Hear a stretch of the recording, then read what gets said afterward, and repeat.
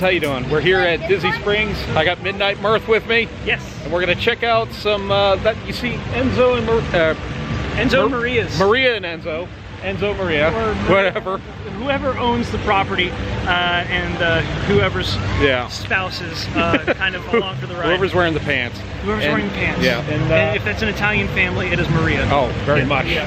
Especially with the name Maria. Yeah.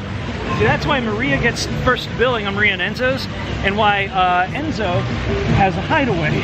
yeah, he needs a little secret entrance. That's where the man cave is. Speaking of which, right there, that is the tower for the Edison. Back for the Edison right behind it, yeah. We're going to go into some detail about some other things Uh-huh. regarding these two places, but... a lot of the Edison and more to the point yeah, where uh, what used to be we're going to drop some history on it. is. Yes. That's for sure. Uh-huh. But let's check out the rest of Disney Springs and see what we can find out here. This right here has to be an OCD person's worst nightmare. Why, why won't the cups stack right? Oh, because they have one handle. Just take this and throw it on the ground.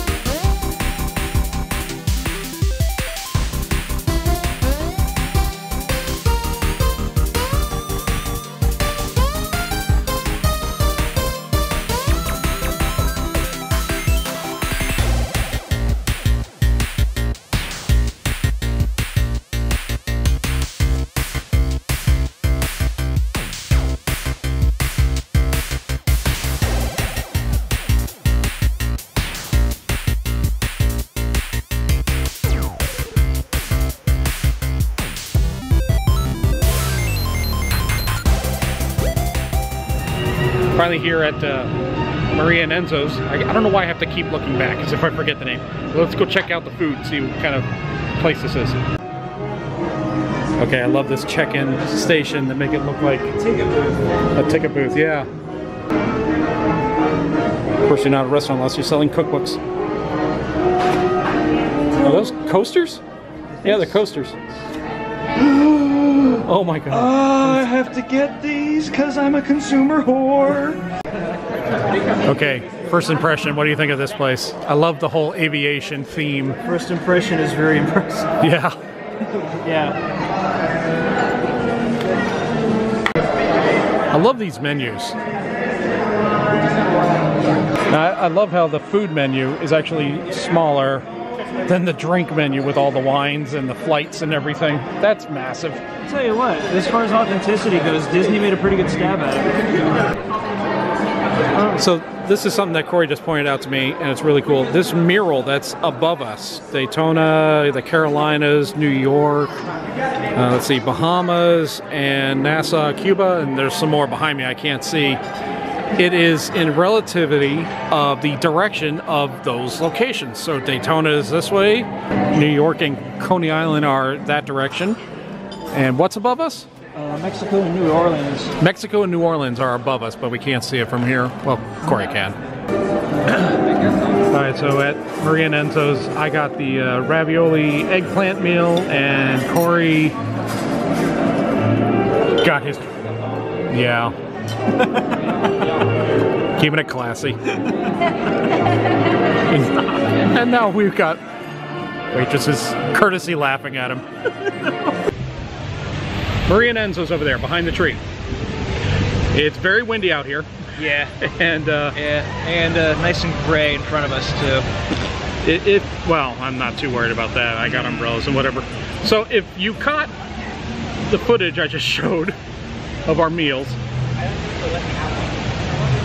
Yeah. Uh, what did you What did you end up having How- ordering? how- what did you order? Uh, I ended up uh, ordering uh, uh, rice balls. It was Yeah. essentially a pair of uh, fried rice balls with a little bit of sausage cut into it. It was really good. I forgot what it was called. well- so, yeah, Antini or something like that. And it, it came with a, a side of shame. Yes, it came with a no, I brought that. Yeah, you brought your You're own not, shame. You're not supposed to bring in your own shame, but I supplied plenty of it for both of us. You want to tell it? Uh, how dare you? Yes. um, so, uh, right, there was a visual joke that uh, I guess uh, you caught on camera. So if uh, you forgot what it was, you can go ahead and just replay it in slow I'm motion. never going to forget that for the rest of our lives. I'm just, I'm just so used to being invisible in these places. You're used- because, it's- because there's like Being so a much- dork is natural to you. well, hey, it's natural. There's like so much going on in these buildings to begin with. I mean, it's a tourist spot. It's just constant action and like sound and fury. And yet, and yet, some eagle-eyed server happened, to spot what I was doing for the benefit of. I mean, yeah. You're- put, you're- put a couple of balls in him. He's going to Yeah, make a dick joke. of it's, course. it's going to happen. It's just, it's just natural. Okay, just uh, it was as he's doing it, just predict it. There's no- passing right behind me. Right. Glances over, and you hear this cackling laugh from the waitress. Yeah, dignity is not a commodity in my world, and apparently this waitress aimed to uh, cash that uh, cash that in, and uh, she wasn't just cackling, by the way. Oh, she I was loving it. She was She was loving it and being a little bit too showy about it. well to the point where you could think like if you could read minds, it would almost be around. It's like, oh, that was funny. I'm laughing. Oh wait, I shouldn't be laughing at that. Yeah. Well, that's your theory. My theory. My theory is that Disney, in order to not, because they don't want people being lewd in front of the kids, you know? Yeah. And I wasn't being like, hey, look at my dick joke. I wasn't, you know, just whipping it out everywhere and trying to distract people with mm-hmm. it. I was just like showing you Right. the dick joke. Yeah.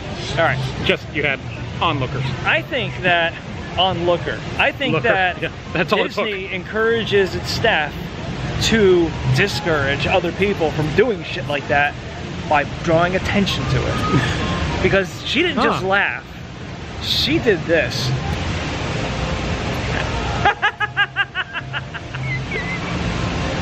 and then she did it some more. Yeah, you you could hear it down the hall. And then she walked back to the kitchen. Uh, you made someone's day. So how were your rice balls? Tasty. Tasty. Yep. My um, Yeah.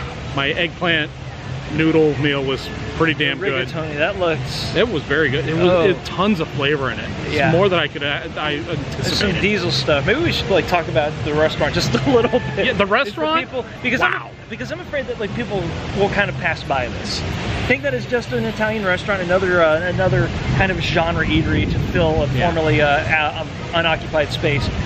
But that's the real deal over there. yeah, that, that was a great place to eat. I loved It it. was not only a good restaurant, but it was also a good accompaniment to the usual uh, Disney-fied Yeah. sort of a stopover Yeah, it wasn't like a generic just- Italian place. Yeah, where, it's- where it's not just not just a place for you to sit down for a couple of minutes while the you know sh- while you shove something into the kids' faces so they'll stop crying, but Which they, were still doing in there. there was like such a rich and kind of a kind of a twofold atmosphere that fit in with pretty much everything else that I think we're going to start calling Adventurers Row or whatever because they they built What- a story into it. Yeah, what did you call it? The Misadventures Club? The, the Misadventures Club, yeah. Yeah. So between this, which apparently Maria Enzo's has like a parenthetical lore attached to both the Edison Yeah. and by virtue of that, Jocks, in that this isn't just an Italian restaurant, it is a former private airstrip that was owned by Maria Enzo.